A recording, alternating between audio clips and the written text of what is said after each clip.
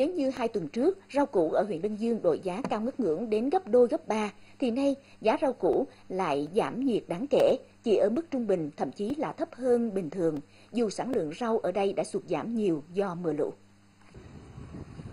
Trên những cánh đồng rau ở Đơn Dương có thể thấy rất ít rau quả củ vào mùa thu hoạch.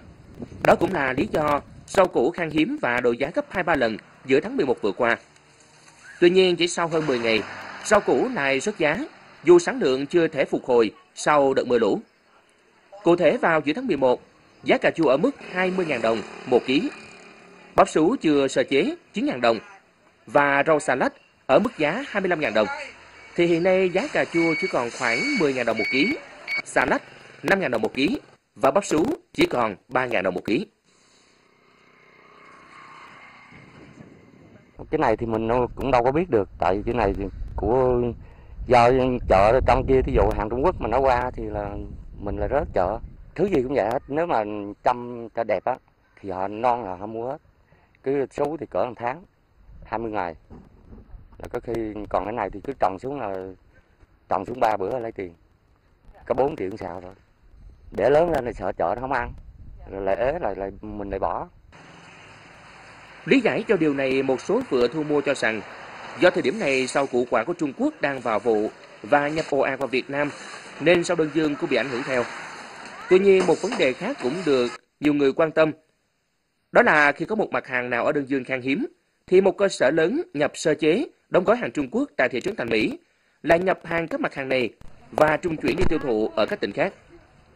Về mặt pháp lý, đây là hoạt động hợp pháp, nhưng việc sau củ đơn dương bị ảnh hưởng, sụt giảm uy tín và thất thu trên thị trường là có thật.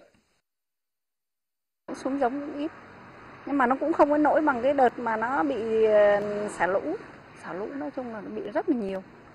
Có người thì bắt đầu được thu là bắt đầu nó bị ấy đi là nó bị ờ, ngập. Nó bị nhiều nó bị nhiều cho nên là bất kể một cái hàng rau gì cũng vậy nó cũng bị hụt hàng nói chung chợ người ta cũng vẫn bán đều đều. Ở ngoài đấy là người ta vẫn giao đồ Trung Quốc đâu có giả dạng Việt Nam đâu. À. Nó vẫn kêu nó giao đồ Trung Quốc mà. Người bán ta biết người ăn thì không biết ví dụ như mình như mình hay chị em mình đi chợ mình mua mình không biết được đâu Giá cả nông sản bấp bênh không còn là chuyện mới của vùng sâu Lâm Đồng nói chung và vùng sâu Đơn Dương nói riêng. Nhưng nay người trồng sâu ở Đơn Dương lại đứng trước nguy cơ bị đánh tráo thương hiệu và thua ngay trên sân nhà. Trong các kỳ tiếp xúc cử tri, đại biểu Hội đồng Nhân dân huyện mới đây, nhiều cử tri cũng đặt ra câu hỏi đối với vấn đề này. Tuy nhiên hiện nay dù đang nỗ lực để bảo vệ nông dân, bảo vệ thương hiệu sau đơn dương, nhưng các cơ quan chức năng cũng vẫn chưa thể có câu giải đáp hữu hiệu.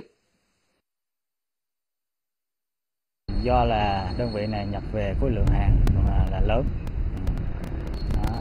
và nó liên quan tới nhiều cái chế độ chính sách của pháp luật như về thuế quan rồi về các cái mặt à, về an toàn vệ sinh thực phẩm à, nó có điều tiết trong nhiều cái quy định của nhà nước như về hành chính có về hình sự đó, nên chúng tôi đã tham mưu đề xuất ban huyện là chỉ đạo chỉ đạo giao lại việc này cho bên à, lực lượng công an huyện để điều tra, thu thập à, các thông tin để đảm bảo cái cơ sở và xử lý theo quy định thì ban huyện cũng đã chỉ đạo cho à, công an huyện thực hiện cái việc mà điều tra, thu thập thông tin để làm cái cơ sở để xử lý.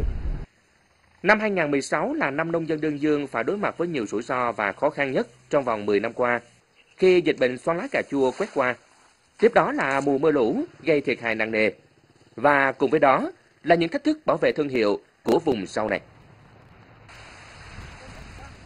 Tổng số vũ khí, công cụ hỗ trợ và đồ chơi nguy hiểm được tiêu hủy đợt này gồm một khẩu súng AK, 7 khẩu súng bắn đạn hơi cồn, 113 mã tấu, 46 dao lê, 67 dao các loại, 22 thanh kiếm, 17 côn nhị,